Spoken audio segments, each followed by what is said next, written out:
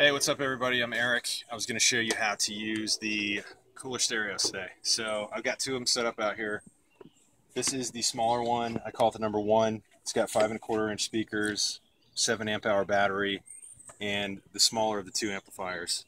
Plays for a really long time. I've never run it out when I'm playing it. You know, I'm going to say a minimum of eight hours, but I'm not even sure. Rechargeable battery, comes with the recharger, same as the bigger one. Um, both of these are pretty rugged. They can get rained on. You don't mind setting them in the sand when you're at the beach.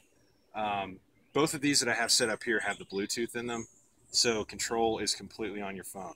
I mean, volume control, any songs you play, at your fingertips, super easy.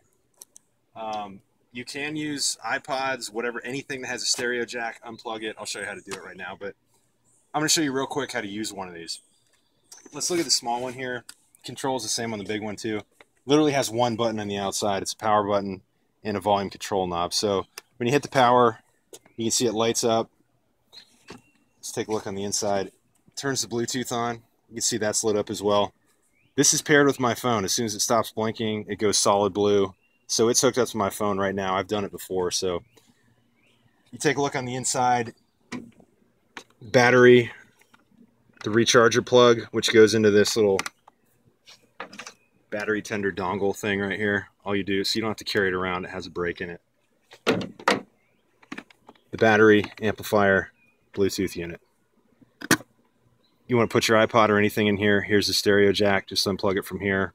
You got volume control on here or on your iPod. It works either way. So let's get that plugged back in. So the Bluetooth's on right now.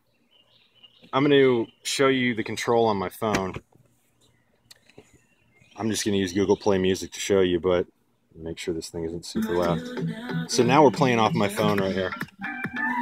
As I'm doing the volume control, it's going up and down. It goes, the distance is, you know, pretty good.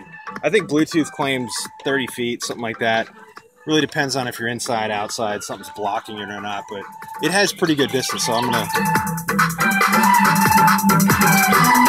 that's not even all the way up, but it, it gets pretty loud. um, so I'm gonna pause it here. I mean, and it controls on your phone, like I said, over Bluetooth. So that said, to turn it off, hit the off button. That's it.